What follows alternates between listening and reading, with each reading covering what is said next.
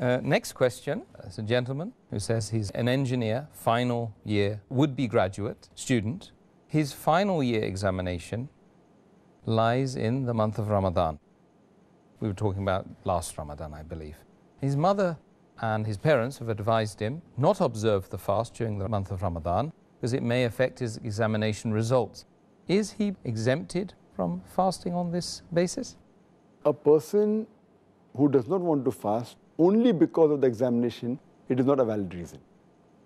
Even though it may be a final exam, and maybe the parents may coax that don't fast because if you fast, then maybe your concentration will go down and the results will become less.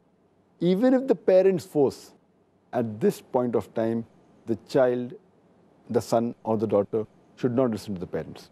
Because if the parents tell you something which is against the teaching of Allah and His Rasul, that's the only time where they can disobey the parents.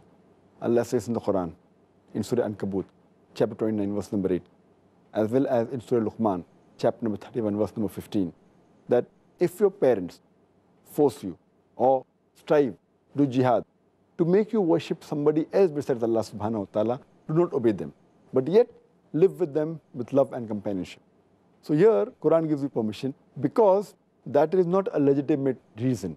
That because the examination is there, they don't want to fast so that they can get good marks. Getting marks in the akhirah, doing a farais, is more important.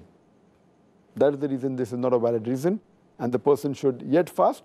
Inshallah, Allah will help him and he will do better in the examination. Mm. But the help of Allah is more important than any other help. And Allah says in the Quran, in Surah Al-Imran, chapter number 3, verse number 160, if Allah helps you, none can overcome you. If Allah forsakes you, who will there then who can help you? So let the believers put their trust in Allah subhanahu wa ta'ala. So my advice is that even if it's examination, let them fast. Inshallah, the concentration will better and they'll get better marks inshallah.